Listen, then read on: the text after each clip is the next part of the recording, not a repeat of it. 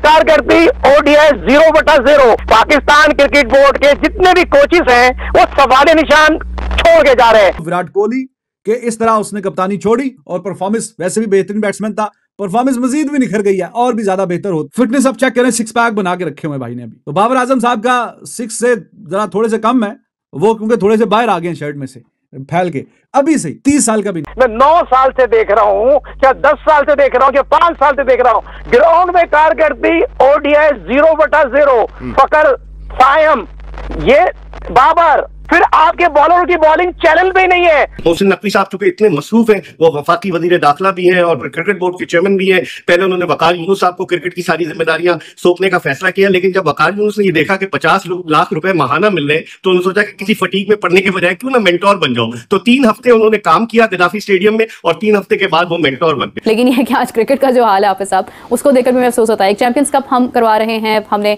Pentangular या दूसरी चीज़ों को एक तरफ़ करके हमने इसको बनाया और हमने कहा कि हमने यहाँ से प्लेयर्स निकालने हैं। अब फिर पाँच मिनट और कौन से रखने हैं? वसीम अकरम साहब की मर्ज़ी से होंगे। उन्होंने वकार यूनुस का लिया वकार यूनुस आगे अपने यार बिली लाते और यार बिलियों ने जो पाँच टीमों के मेंटोर बने उन्होंने नीचे अपने यार दोस्त लगा दिए। बाबर को खेलना ही नहीं चाहिए था आप कह रहे हैं बाबर को 200 रन करने चाहिए थे। खुदा का शुक्र है उन्होंने छिहत्तर रन कर लिए। वरना तो हम कभी छह देख रहे होते थे कभी सात देख रहे होते थे। मिले भी छिहत्तर नहीं देखे थे हमने। बड़े दिन हो गए। मैं तो पहले कह चुका हूँ कह चुका हूँ कि ये फजूल सा टूर्नामेंट है। वेस्ट ऑफ़ टाइम और वेस्ट ऑफ़ मनी है। क्रिकेट बोर्ड है हम इनके मुलाजिम हैं। वो वो कहते नहीं ये चीज़ ठीक है ऐसे ही होनी है। मगर क्रिकेट बोर्ड कैसे चेहरे नहीं चाहिए। उनको वो चाहिए जो कहें कि दिन है तो कहीं दिन है वो कहीं रात है तो कहीं रात। ऐसा आपको जॉब सीकर तो मिल सकता है मगर कॉम्पिटेंट नहीं मिलेगा। बाबर को 200 रन बनाना चाहिए पिच पे खड़ा चाहिए। इसे कहते हैं मैच प्रैक्टिस तो मैच प्रैक्टिस नहीं है दूसरा कमेंट्री में खुला खुला डांट ली बात सिंपल थी नसीम भाई धोखा हो गए। आपकी कमेंट्री हो रही होती है कि चौका लगी जाता है तो चौका ऐसा लगता है सिंगल हुआ है। ये आपके हालात है।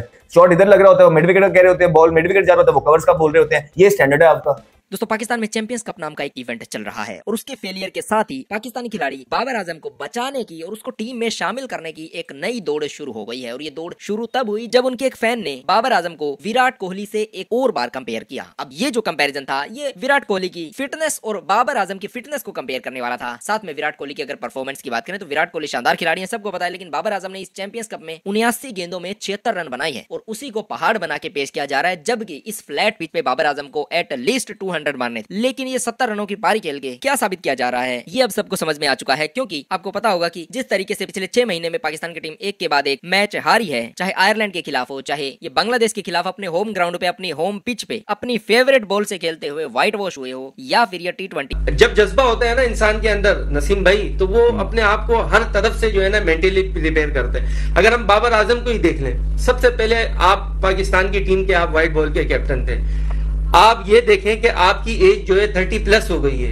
एज ए क्रिकेटर हर क्रिकेटर को ये पता होता है कि जब वो तीस साल के करीब हो जाते हैं तो उनके रिफ्लेक्सेस वैसे नहीं रहते जो उनके पहले होते हैं। तो उनको ज़्यादा अपनी फिटनेस के ऊपर काम करना होता है ताकि वो लंबी क्रिकेट खेल सके। अब आप बाबर आज़म की फिटनेस का लेवल देखें। फिर दूसरी बात अब हम उनको जो है नेट पे देखते हैं तो नेट पे जो है वो जो है हार्ड हिटिंग की प्रैक्टिस कर रहे होते हैं। भाई आप आप किधर जा रहे हैं? आपका माइंडसेट क्या बन गया है? बाबर ने दोस्तियाँ निभाई सबने देखी।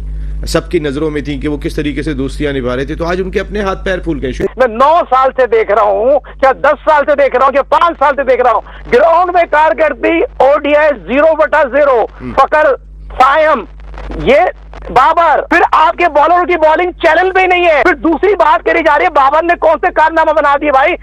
सत्तर रन बनाए तो पहाड़ थोड़ी किए। ये बाबर को 200 रन बनाना चाहिए पिच पे खड़ा होना चाहिए। इसे कहते हैं मैच प्रैक्टिस तो मैच प्रैक्टिस नहीं है दूसरा कमेंट्री में खुला खुला डांट ली दूसरी कमेंट्री में मुझे बताइए दोस्त बासित भाई तो कह रहे हैं आपके दोस्त बासित भाई तो कह रहे हैं कि बाबर आज़म को जो है वो खेलना ही नहीं चाहिए था, ये इवेंट वो डरपोक करार दिया। उन्होंने कहा कि बाबर आज़म डरपोक हैं, जिस तरीके से उन्हें हारिस की कप्तानी में नहीं खेलना चाहिए था, जो उनका अपना स्टेचर है। बासित भाई, बात गलत कर रहे हैं या सही कर रहे हैं यहाँ पर? आप कहीं ना कहीं बहादुरी हम भी कहते रहे भाई, आप सारे कप्तानों को कुछ तो बहादुरी दिखानी चाहिए। तो बासित भाई सही कह रहे हैं, गलत कह रहे हैं। बाबर आज़म को कप्तान होना चाहिए था, हारिस की कप्तानी में नहीं खेलना चाहिए था ये इवेंट साजिद भाई। इतना प्यारा सवाल मेरे उस्ताद मोहतरम शुएब अभी भाई ने पिछले संडे जो सवाल किया था ना आ, दिन अल्लाह ताला ने सात दिन बनाए उंगलियाँ पाँच उंगलियाँ बराबर नहीं होती। तो बासित अली एक अपना यूट्यूब चैनल चला रहे हैं वो अपनी दुकान चमका रहे हैं। पाकिस्तान की क्रिकेट में कम बात करते हैं इंडियन क्रिकेट में ज़्यादा बात करते हैं तो वो अपनी दुकान को चमकाना चाह रहे हैं उनको पता है मेरे अगर कुछ पैसे बिकेंगे कमाऊँगा तो ये वीडियो बनाने से बिचूँगा ये तो बाबर की तस्वीर बना रहे हैं बाबर की शादी भी कराना चाह रहे हैं। लेकिन ये कि आज क्रिकेट का जो हाल है हाफिज साहब उसको देखकर भी महसूस होता है। एक चैंपियंस कप हम करवा रहे हैं हमने पेंटेंगुलर या दूसरी चीज़ों को एक तरफ़ करके हमने इसको बनाया और हमने कहा कि हमने यहाँ से प्लेयर्स निकालने हैं। मुझे वैसे मैं मैच पर आती हूँ लेकिन एक बात हाफिज साहब एक कन्फ्यूज़न है मेरे दिमाग में। जी जी। ये यही प्लेयर्स तो डोमेस्टिक में भी खेलते हैं यही प्लेयर्स कारिजन ट्रॉफी भी खेलते हैं यही प्लेयर्स फ़र्स्ट क्लास के रन भी करते हैं इन्हीं मैदानों पर करते हैं। वहाँ से निकाल लेते हैं मतलब इसको अलग से इतना डिज़ाइन करने की क्या ज़रूरत थी? देखिए जब ये शुरू हुआ है ना जब से ये इन्होंने शुरू किया है हमें तो जो लोग देखते हैं यकीनी तौर पर उनके तो जहन में आया कि हम क्या बात कर रहे हैं। ये इसका कोई नज़र नहीं आता कि आप एक आ, पहले से आपके पास एक निज़ाम मौजूद है आप उसको उसको बेहतर करने के बजाय आप हाँ। उस अपने ही निज़ाम के आ, सामने एक और निज़ाम खड़ा हाँ, कर लेते हैं। तो ये क्या इससे मतलब ठीक है आगे चलें लोगों को आहिस्ता आहिस्ता शायद एहसास होना शुरू हो उनको ना हो क्योंकि जो फैसले कर रहे हैं, उनको तो होना नहीं है। पाकिस्तान क्रिकेट बोर्ड का जो चेयरमैन है, वो चेंज हो जाता है। नीचे वाले लोग चेंज नहीं होते हैं। और जो ये कहता है क्रिकेट बोर्ड का चेयरमैन अपने आप को बहुत फने खां समझता है, मगर ये नीचे वाले जो बैठे हैं, ये हमेशा इनको गुमराह करते हैं और हर चेयरमैन की नकामी के पीछे दरअसल ये चेहरे हैं, जो छुप जाते हैं। और आम लोगों को तो पता भी नहीं होता ना, वो चेयरमैन को तनकीद का निशाना बना रहा होता है। हालाँकि चेयरमैन इन्हीं किस्म के फैसले कर रहा होता है। हर बार पाकिस्तान क्रिकेट में लास्ट तीन कोचेज ऐसे हुए हैं, जो जो वसीम अकरम ने बताया कि इन्होंने हलो। वकार को भी हेड कोच वसीम अकरम ने सजेस्ट किया था एक बार। एक बार और एक कोच बना वसीम अकरम के कहने पर। क्रिकेट कमेटी के अंदर फैसले वसीम अकरम के कहने पर होते हैं। पाकिस्तान क्रिकेट कहाँ खड़ी है? अब फिर पाँच मिनट और कौन से रखने वसीम अकरम साहब की मर्ज़ी से होंगे। उन्होंने वकार यूनुस का लिया वकार यूनुस आगे अपने यार बिली लाते। और यार बिलियों ने जो पाँच टीमों के मेंटोर बने, उन्होंने नीचे अपने यार दोस्त लगा दिए। भाईजान पूरी मेहनत हुई है पाकिस्तान क्रिकेट की बर्बादी के ऊपर। अगेन मैं कुछ मतद बार कह चुका हूँ कि आपके पास दो तीन ऐसे अच्छे क्रिकेटर हैं, जिनको आप कोचिंग या मेंटोरशिप पे लगा सकते हैं। बस मसला ये है, वो अपनी आदत से मजबूर हैं कि वो जिद्दी हैं। वो जो उनके मन में होता है, वो वही करते हैं। वो नहीं देखते चेयरमैन है क्रिकेट बोर्ड है, हम इनके मुलाजिम हैं। वो वो कहते नहीं, ये चीज़ ठीक है, ऐसे ही होनी है। मगर क्रिकेट बोर्ड कैसे चेहरे नहीं चाहिए। उनको वो चाहिए, जो कहें कि दिन है तो कहीं दिन है। वो कहीं रात है तो कहीं रात है। अब ऐसा आपको जॉब सीकर तो मिल सकता है। ऐसा आपको जॉब सीकर तो मिल सकता है मगर कॉम्पिटेंट नहीं मिलेगा। अब भी अगर सारा हिसाब किताब करना है वहीं भी किंग शिंग कहलवाते रहना है और बल्ले से परफॉर्मेंस नहीं आनी तो लोग उल्टा मज़ाक उड़ाएँगे। तो सीखने की बारी है। He gave the example of Virat Kohli कि इस तरह उसने कप्तानी छोड़ी और परफॉर्मेंस वैसे भी बेहतरीन बैट्समैन था। परफॉर्मेंस मजीद भी निखर गई है और भी ज़्यादा बेहतर हो, हो गई है परफॉर्मेंस तो अब बाबर आज़म और सोशल मीडिया पे से जरा निकल के वहाँ पे हीरोपंती कम करके बैटिंग से और बल्ले से अपनी टीम के लिए कोई रन करे, मैच जिताने वाली बारियाँ खेले तो फिर जाके बात बनेगी। ऐसे बात नहीं बनेगी। अभी मैं फ़ोटो देख रहा था, किसी फ़ैन के साथ विराट कोहली ने फ़ोटो लिया हल्की हल्की दाढ़ी में सफेदी आना शुरू हो गई है। लेकिन फिटनेस अब चेक करें सिक्स पैक बना के रखे हुए भाई ने अभी। तो बाबर आज़म साहब का सिक्स से जरा थोड़े से कम है। वो क्योंकि थोड़े से बाहर आ गए शर्ट में से, फैल के। अभी से, तीस साल का भी नहीं है। फिटनेस पे काम करे। फिटनेस जब तक इसकी अच्छी थी बॉडी जब इसकी लीन थी, इसके ज़्यादा अच्छे रन आते थे। ये ज़्यादा अच्छे स्ट्रोक खेलता था। और अभी फिटनेस पे हम भी क्या क्या कहे कि बाबर आज़म डेढ़ साल कप्तान था, इसने कोई तवज्जो नहीं दी।